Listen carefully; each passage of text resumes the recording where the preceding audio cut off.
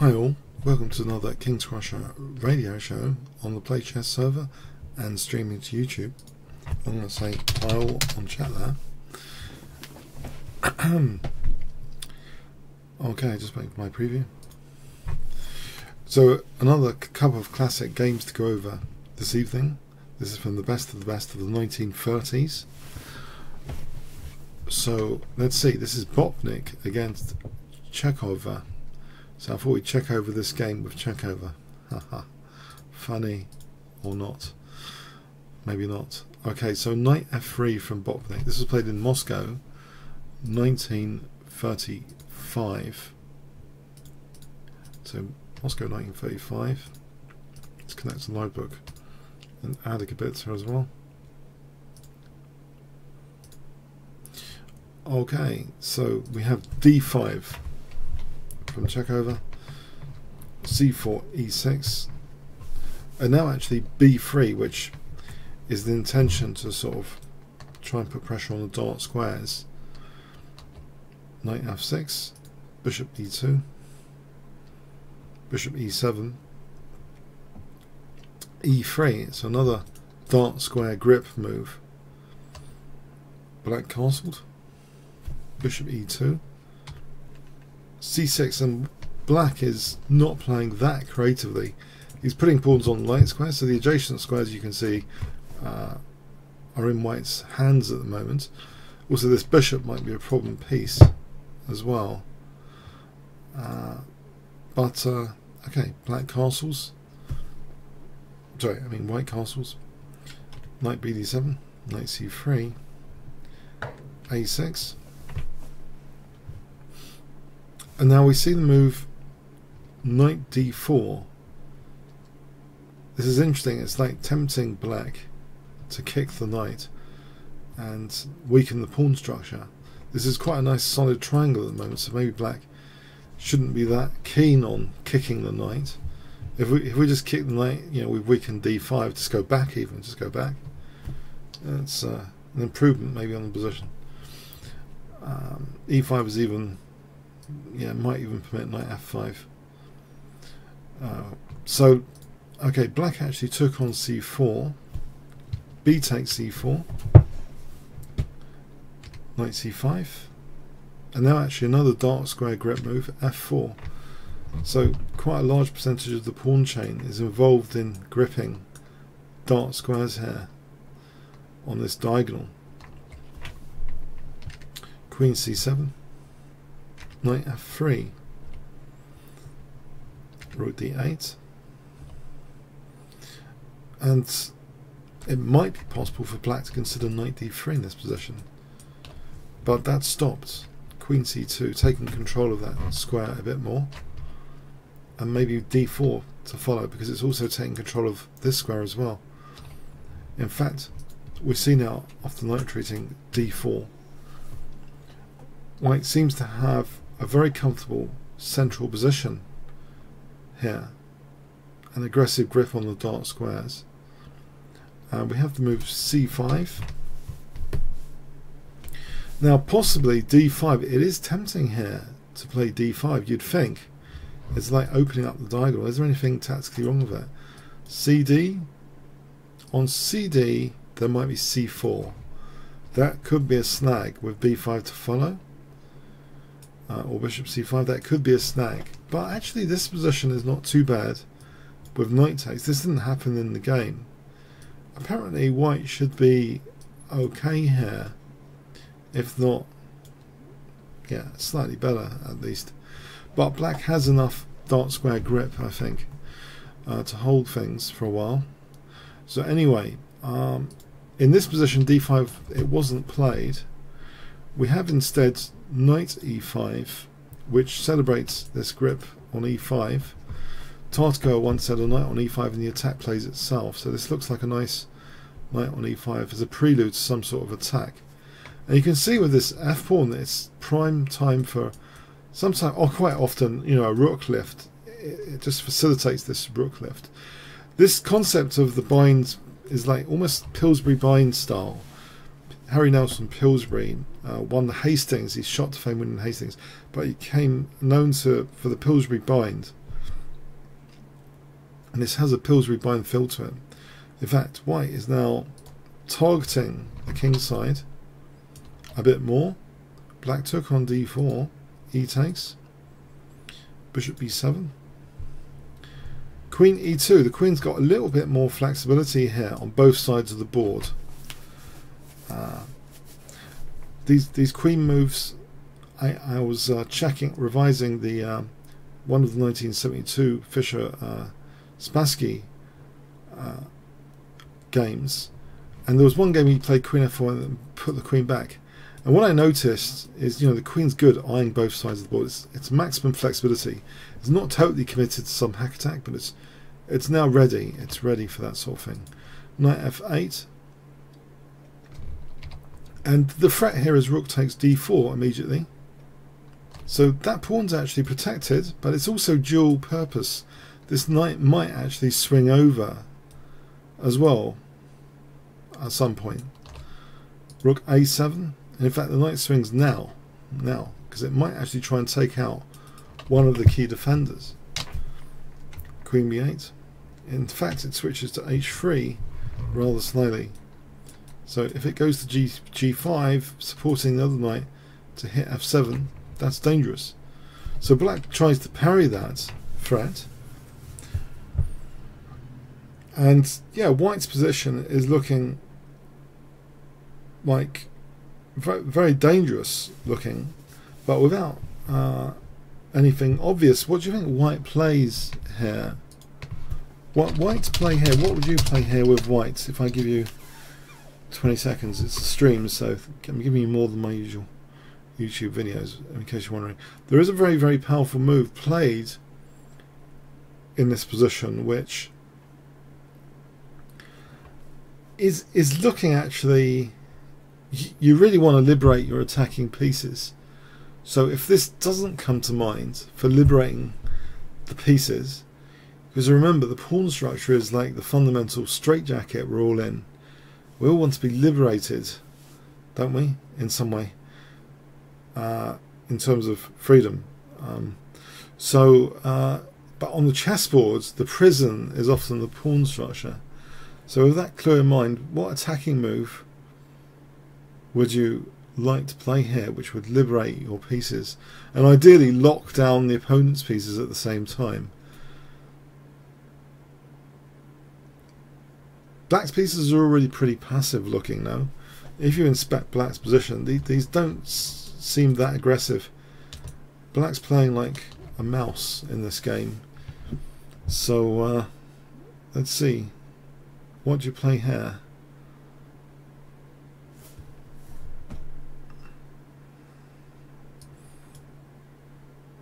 Okay, there's been a suggestion or two there on stream. Um, by the way, on play chess, audio is okay, right? I'm just going to ask that. Just, just to make sure. I'm not going completely mad. Only gin? One gin?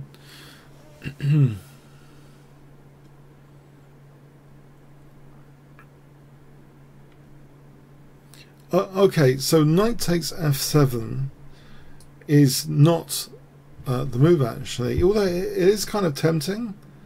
Uh, but apparently black might be okay here, even if check here now. Uh, apparently black is okay. There's nothing uh, immediately apparent from technical analysis. The move played is actually trying to liberate the pieces. It's sort of positional, really. You might think of this as attacking, but it's kind of positional in that it's trying to wrench open this rook and it's hitting f7 so black's really got to do something about one of the knights taking f7 uh, so he takes that and yeah we're sort of wrenching out this rook. And you might think well my, my first thought is like why is why is this such a one-sided game? White's got everything he dreamt of from the opening and Black's pieces just like lemmings just sitting mostly on the first and second rank here. What what is this game? It's this is not a two-way fight. uh, after this move anyway. It doesn't look to me like a two two way fight. Uh, so, yeah, uh, it's surprising that it's in so many people's collections at chess games. Come, it's a totally one way kill. I mean, it looks to me like a one way kill. This position, if you just look at the difference in pieces. Um, yeah, but apparently it's in 113 collections at Chessgames.com. So okay, so the knight uh, goes back. Uh, actually, it doesn't go back. If the knight did go back, I mean, this is just murder, right? Knight takes f7, and we're probably going to be ending up mating on on h8 at some point. Let's see. If if just just a token move, queen h5 threatens mate. Yeah, it's, it's just it's just over there. So the other knight actually um, is used. Ah, but now we do get a taste of, of real punishment here in this position. But White, White has an overwhelming position anyway. But another knight sack is used. This is probably one of the most crushing moves available.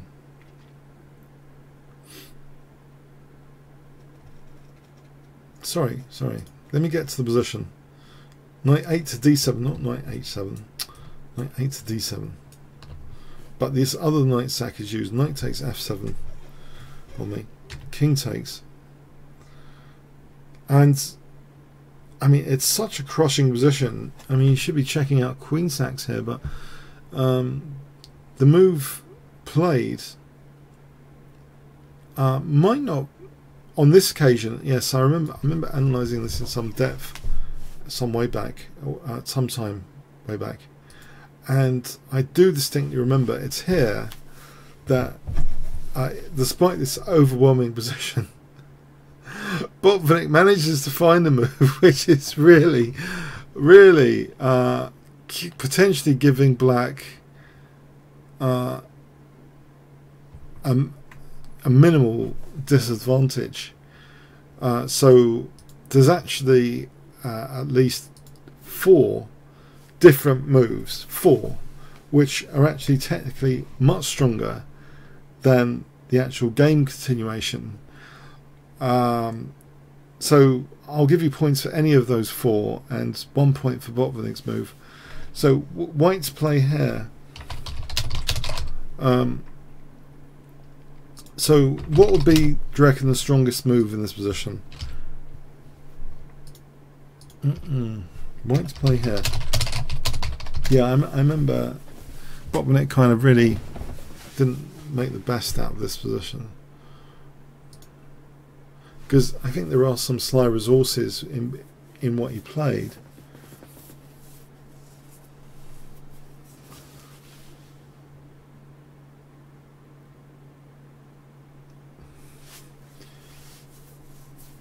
Alright, if you said Queen h5 check, 200 points, that is much stronger than what he played.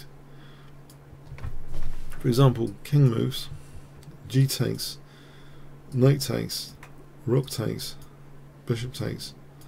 This position with Rook f1 is apparently crushing. This this move Rook f1, it's almost basically it's cutting away escape squares potentially of the king. We've already got access to h7. So let's follow this through. Let's say black plays a move like bishop c8. Bishop g6 really cutting this f7 escape square. And let's see. So if here there's bishop a3 cutting the e7 escape square potentially. Uh, but say rook d6 check or, or in fact the d6 escape square making this mate there. So that's one example of a crossfire from this diagonal as well as this diagonal. Why this is this is absolutely murderous, this position. I said bishop c8. The computer moves are ridiculous. Bishop f3 is mentioned for some reason. Let's have a look at this. Bishop g6 with the idea of check. And okay, and taking on f6. For example, check. In fact, here bishop a3 wins the queen. That's winning the game. If we look at the ridiculous computer moves, I mean, bishop e4, giving up the bishop for some reason. Maybe to put the, the rook there, fine. Check. We're checking over the checks in the game of check over. Bottling is check over. Good to check over the checks.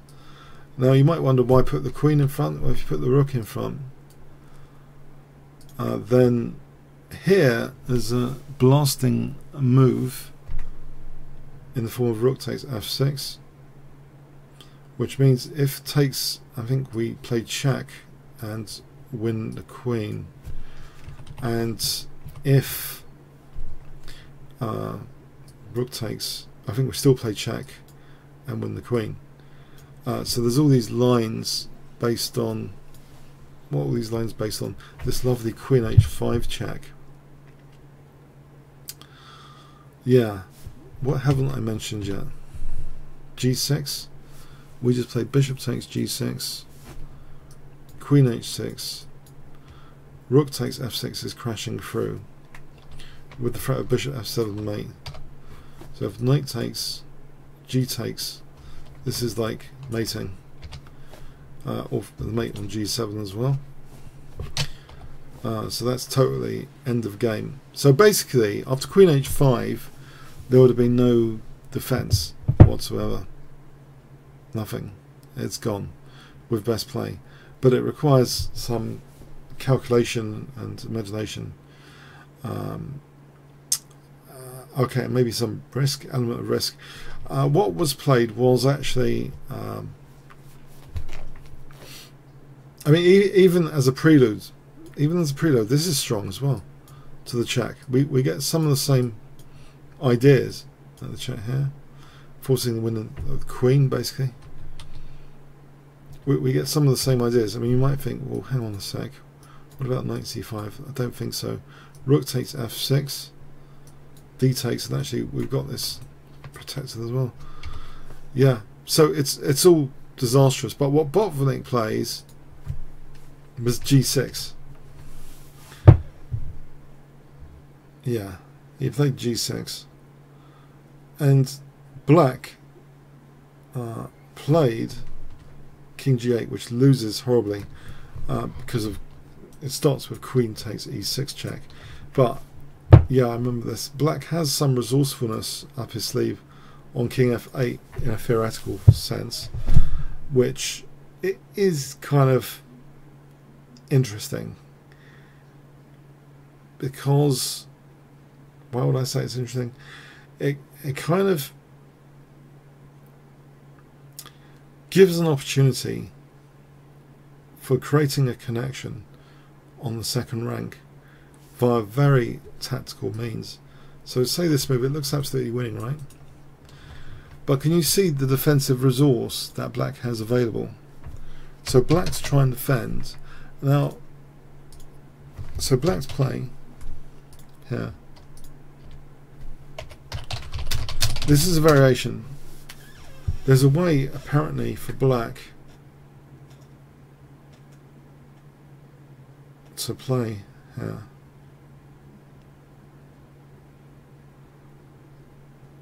Which is equal, apparently.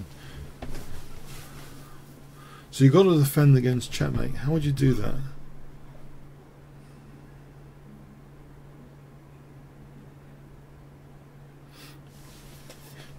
Black's plan defend against queen f7 checkmate.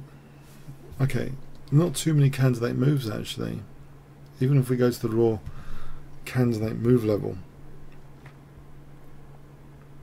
Knight e5.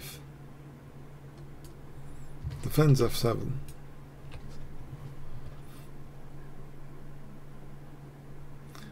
And you might think, if it takes, that is creates a weakness of the last move. So we get this check. We've got to check over the checks. And here, there's a lust for a connection. A lust for a connection to help F7, right?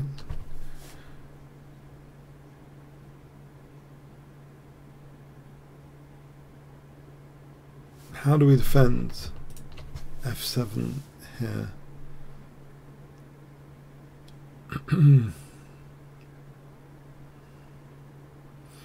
And actually it leads to an advantage for black technically. Now bishop d5 is on the right track, by the way. Mr. QA uh, there. But there's actually an even stronger move. This is actually still winning for white after c takes. Because we've got this pins Yeah, no, there's a stronger move, much stronger. Hmm, there's a, there's a hanging piece here as well, yeah. So you might want to try and defend mate and be greedy and win this piece on d3. So you need time to sort of stand still. So there's a great way of making time stand still. It's called forcing moves, gaining a tempo. Yeah. Bishop c8, uh, no. No. Because rook takes, although it creates that connection, rook takes and uh, queen takes th this position is very good. In fact, that bishop survives with a vengeance. It's coming to c6, and it's too difficult for black to defend this. Black would have to give up the queen here. Because if something like this, then queen f7 mate. Or here, queen f7 and queen... Uh, this is mating. Uh, bishop's covering f8, in case you're wondering. But this is still mating it's horrible. No, there's a way um, with. Uh, let's go back. So you, it's all about getting this big connection right to f7, but um, you can actually do that with tempo. With bishop takes g2 check.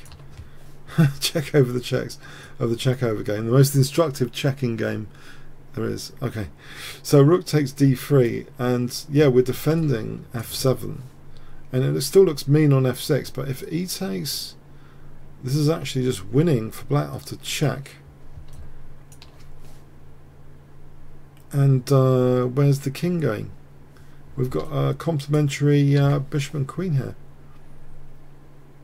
this this is just over. In fact, white's just lost. White's just lost. This is uh, king g8. Remember, we've got f8 covered. There's nothing there. Yeah, so it's the behind the scenes uh, defense 95 so white would have to scramble for a draw here with some play there is a way of playing to get a draw like queen h3 threatening mate black again has to be super resourceful here with knight actually so black will probably never see this in a million years this stuff so knight f3 blocking uh, the f file uh, so that this knight can perhaps go back to g8 if rook takes, bishop takes, we've still got knight g8 now without the knight being pinned. You know, check, we just play knight g8. Uh, but yeah, maybe black wouldn't see any of this in a million years. Well, that's why he didn't play it anyway. Um, so anyway, no, the opponent, Chekhover, played king g8. But with a name like Chekhover, you've got to check over the checks. No, I'm going to stop that. I'm going to stop that. Okay. Uh, you know, okay. It's not funny. It wasn't funny the first time. Queen takes e6 check. Uh, king h8. Um, check. King g8. Bishop f5. Threatening check and then mating, even with the knight coming to g8. Uh, knight f6 is played. This is just very strong for white. Check, check, check. And now to break through to h7. Yes, brilliant. Rook takes f6. Check. Now rook e1 cutting the king off. And we've also got this killer bishop a3 check. As well as the obvious, more obvious even, uh, queen h8 mate in one threat. So black shields the e file to give his king a square, but um, yeah, white can probably. Can white just take that? Yeah, that's winning as well. Anything's winning here. He plays check, check, uh, check, check, check, check, check, check. Mate. Yeah. Uh, so yeah, classic game uh, from Botvinnik there. Uh, some I, I, I don't know. I, I am starting to think every every Botvinnik game seems to be having some rumor. I'm probably exaggerating that people gave up against Botvinnik on purpose. The the, the, the reason why uh, such rumors existed, I, I think Botvinnik was seen by some as the chosen one, and you shouldn't like get in his way. Uh, but this, this is Moscow 1935, though. Maybe, maybe there wasn't any controversy uh, around it. but uh, okay.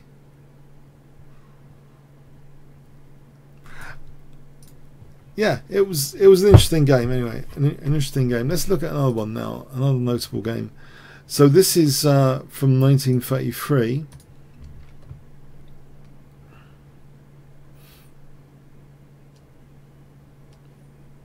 Now, players here just you just wouldn't have heard of them ever. So 1933 played in Madrid. Okay, so uh, Martin Esteban against Jose Sanz Aguado. That's the best I'm going to make it. E4, E6, D3, D5, knight C3, knight F6, E5. We have um, a French defense of sorts. White does seem to have an aggressive pawn chain. Knight b5, takes, takes. And white's just blundered the pawn, hasn't he? Because this bishop's like pinned. So rook takes. But hold on, this can be unpinned. What's going on here? But hold on, there's a check. There's a check here. So black's just nicked a pawn. Okay. And in fact, nicks another pawn. Yeah. Greedy.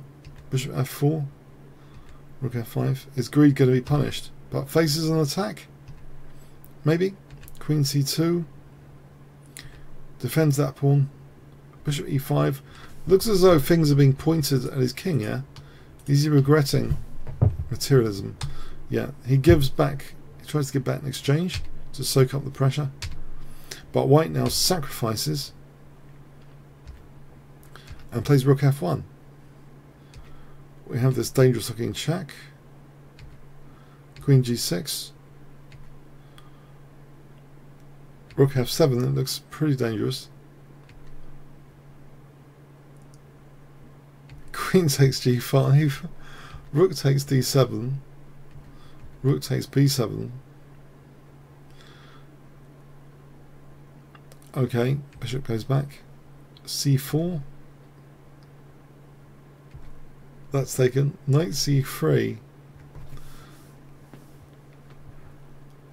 So, black, is material up here. Yes. Rook d8.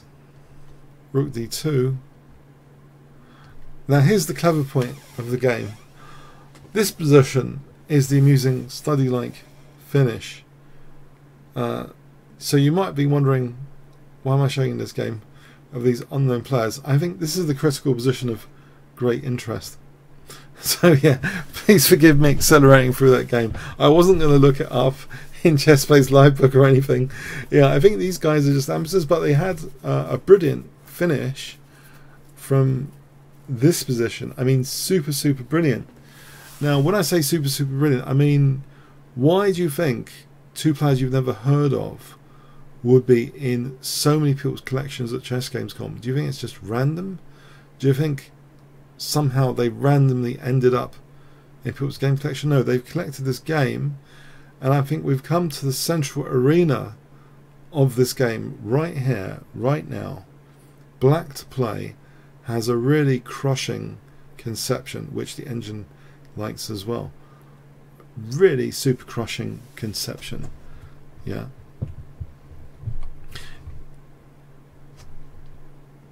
The pawns are islands, aren't they? One island, two island, three island, four island. So even though black for the moment is uh, a couple of pawns up, given the quality of the structure. White's actually got the better structure on both sides of the board. and if white's given a move or two, he might start playing moves like king f1 or king h2 and g4 to get that out of the firing line, get the king out of the firing line. Okay, but for the moment, black to play has a very, very clever, clever resource in this position, which makes this game kind of famous. So black black play for 500 points, especially if you can see the continuation after. So black play.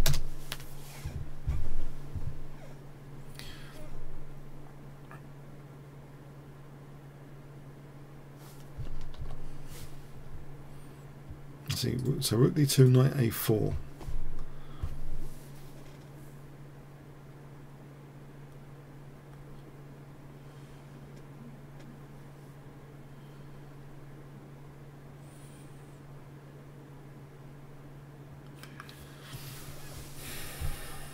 Any ideas? Just an endgame, right? Endgame's not that tactical, right?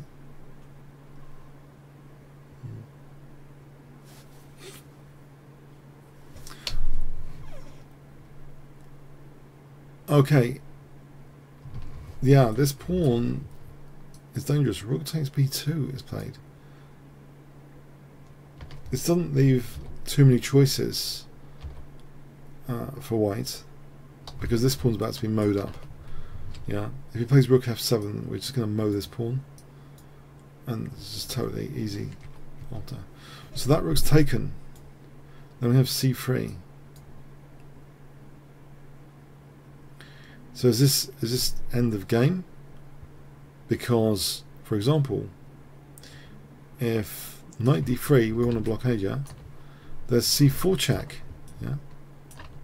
If we take that, c takes, and these two pawns are winning here. The king's too far away, yeah. Here, uh, c2, and then d2, and then one of the pawns is queening. So, we have a quandary here. Uh, and if knight c2, just c2, queening, nothing to stop. The rook's away over. So, white actually decided to play rook takes b6. And the thing is now, uh, if a takes, knight d3 and actually white's fine it seems. You know c4 we, we just block everything. Yeah. And we can start to bring our king in. So this has this spoiled all the fun? Yeah?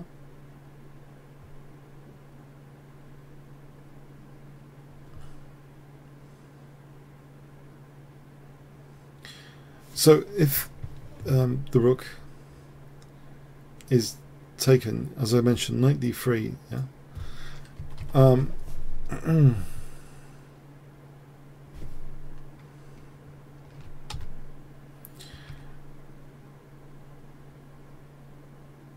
so we, we've looked at taking um, c2, knight d3.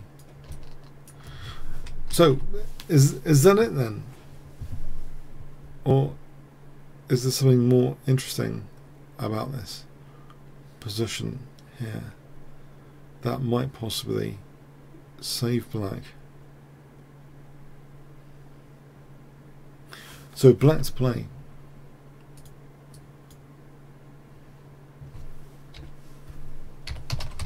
Actually we had a puzzler didn't we last week? Do you remember the connected pass pawns? This is a kind of related little story that we want potentially a winning, well, pass pawns or connected pass pawns. If you remember last week, we had a that tricky over against Alekhine pass pawn finish. But here there's a there's a brilliant move which is also it also has potential to create winning pass pawns.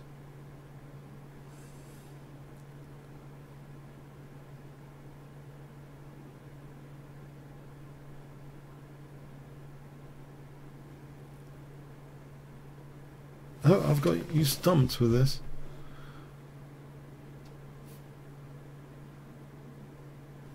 Oh.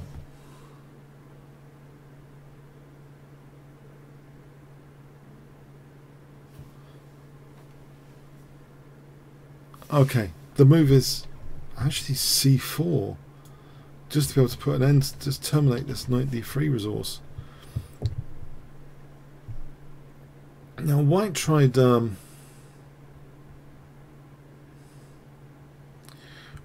white white tried rook b4.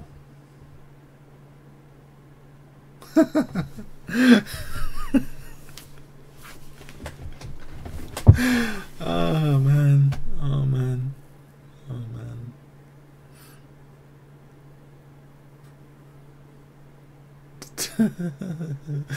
That is funny. No, it is funny. It's funny. This is what White tried. We have to come back to this move 34. this is good. This is good. Actually, this is quite good. No, this is this is making me laugh now. Okay, so black black to play. oh no, this is tragic. But black to play. I don't know how the black pawns have managed to conspire together. They've managed to conspire together in an evil way against these poor two pieces. Ah, they've managed to conspire.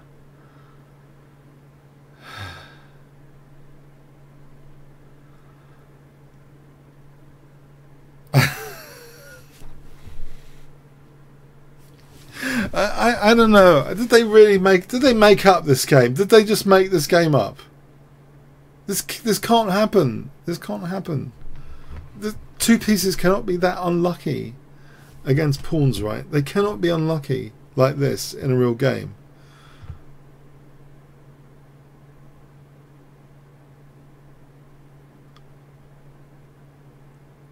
I, I just want to point out, right, C2 loses, you just take here, end of game. Yeah? C takes, loses, we just take here. There's one move and one move only, which wins for black, which is A5. And this is crazy. Because, unfortunately, for the rook, that this position is not ideal because the rook, there's no check. There's no check to check over and there's no rook c1 and there's no rook b4 so unfortunately there's no defense to the pawn queening in this position how how unlucky is that how unlucky is that uh, white plays uh, knight takes c2 right but now another amusing thing, C2, because now we can't even use C4 because the knights use that parking space. Yeah? we can't use B1. And this pawn's queening again.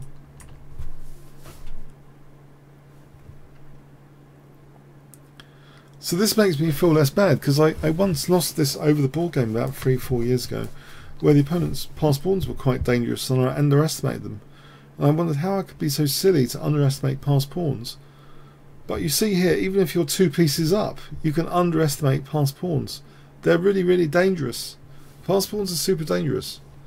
But let's go back to move 33. I did promise we're going to go back to move 33. So somewhere we are going to go back. Uh, was it move 33?